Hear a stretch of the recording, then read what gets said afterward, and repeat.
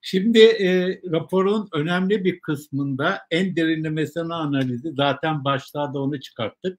CHP'ye odaklanmışsınız e, yaptığınız evet. şeyde ve CHP'nin içerisindeki güç dengelerinden bahsetmişsiniz. Özellikle Cumhurbaşkanlığı seçimi ki erken olmakla birlikte en kritik meselenin olduğu ortada. E, şimdi e, şu çok net, bütün araştırmalarda o gözüküyor. Popülarite anlamında Mansur Yavaş herkesten önde. Ama e, Mansur Yavaş sizin de orada bahsettiğiniz gibi CHP ile ilişkisi biraz kırılgan bir ilişkisi var. Evet, e, evet. Dolayısıyla CHP'nin gerçek adayı İmamoğlu gibi bir hava var. Yani genel olarak bakıldığı zaman. Şimdi bu e, CHP'nin önündeki en önemli mesele önümüzdeki süreçte bu mu olacak? Ve tabii ki şunu da rahatlıkla söyleyebiliriz. Erdoğan da bunu işleyecek sürekli. Öyle değil mi? Yani evet. CHP içerisinde sorun çıkartmaya çalışacak.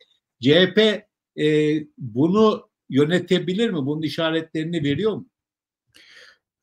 Yönetip yönetemeyeceğini bilmiyorum.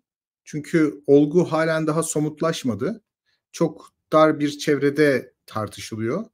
Bu aktörlerin sempatizanları sosyal medya üzerinden birbirleriyle biraz münakaşa ediyorlar. Fakat bunun ötesinde aktörlerin bayrak açtığı bir durum gö- gözlemlemedik.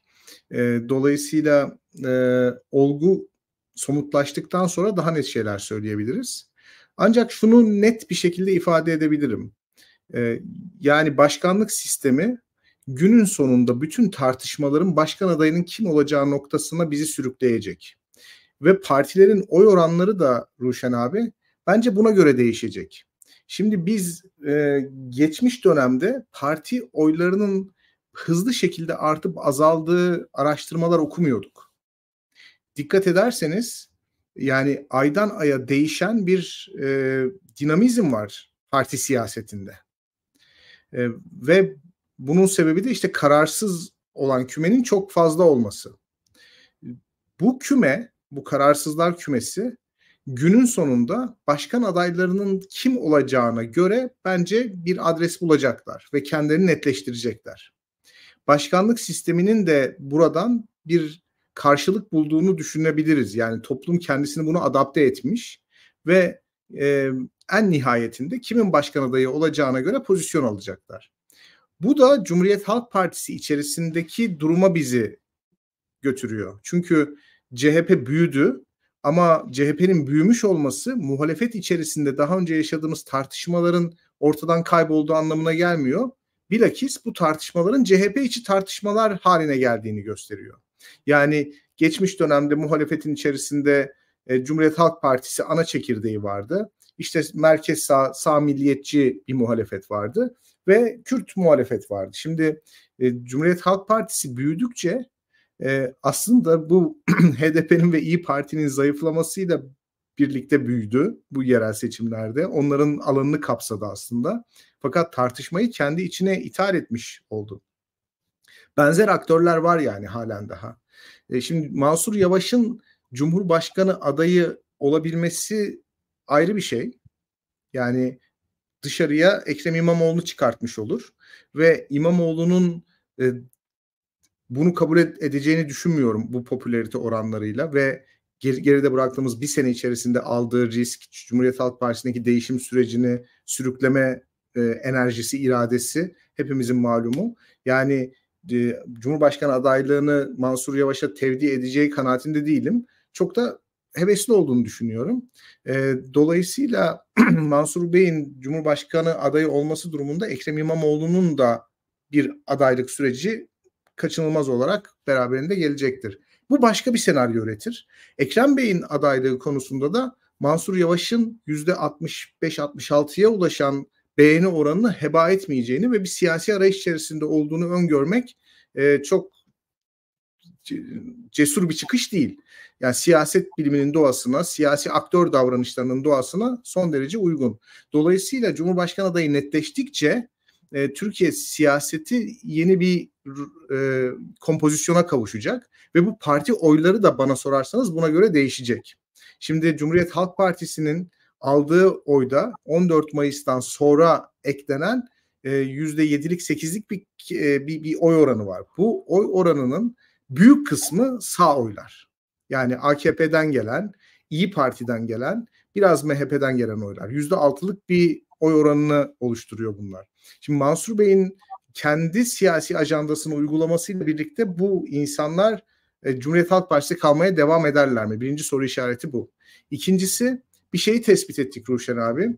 AKP ve CHP'nin dışında kalan yüzde kırklık bir toplum kesimi var.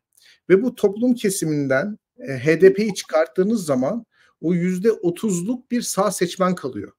Bu yüzde otuzluk sağ seçmen AKP ve CHP ile ittifak ilişkilerinde sorun yaşayan partiler. İyi Parti var, Zafer Partisi var, Yeniden Refah Partisi var ve Milliyetçi Hareket Partisi var. Şimdi bu önemli bir kesim. Dolayısıyla kimin başkan adayı olacağı, Cumhuriyet Halk Partisi tarafından kimin önerileceği aslında başka bir başkan adayı daha üretebilir ve bu işte yüzde 25-30'luk sağ seçmen kitlesi dediğim insanların da yeni bir cumhurbaşkanı adayı olabilir. Veyahut bu partilere oy verme niyetinde olan e, CHP'ye de AKP'ye de oy vermeyeceğini beyan eden insanların oy verebileceği yeni bir cumhurbaşkanı adayı çıkabilir. Bu senaryoya hazır olmak gerekiyor. E, bazılarının speküle ettiği Özgür Özel'in de Cumhurbaşkanı adayı olmak isteyebileceği şey fikri sana nasıl geliyor? Ee, ben Özgür Özel'in Cumhuriyet Halk Partisi Genel Başkanı olarak sistem içerisindeki ağırlığını arttırmak istediğini düşünenlerdenim. Yani e, Özgür Bey'in elbette ki Cumhurbaşkanı adayı olma arzusu olabilir. Bu çok da normaldir. Buna çok da sert reaksiyon vermemek gerekiyor. E, yani bizim e, özellikle muhalif cenahta siyasetçilerin siyasi arzu sahibi olmaları çok yadırganan bir şey ama çok normaldir. E, fakat benim görebildiğim kadarıyla gerek beğeni oranı olsun, gerekse bu normalleşme sürecinin e, olası çıktıları konusunda e, Özgür Bey'in e, düşünceleri olsun, e, daha çok Cumhuriyet Halk Partisi Genel Başkanı olarak parlamentonun ağırlığının artma ihtimaliyle beraber sistemdeki ağırlığını arttırma e, arzusu var. Bana öyle geliyor. Çünkü baktığımızda ya evet Özgür Bey'in beğeni oranı çok hızlı bir şekilde yükseldi Ruşen abi Nisan'dan sonra ama o beğeni oranının içerisinde hakikaten ağırlıklı olarak e, yani hiç reddedemeyeceğimiz ağırlıkta diyeyim e, bir AKP MHP seçmeni var.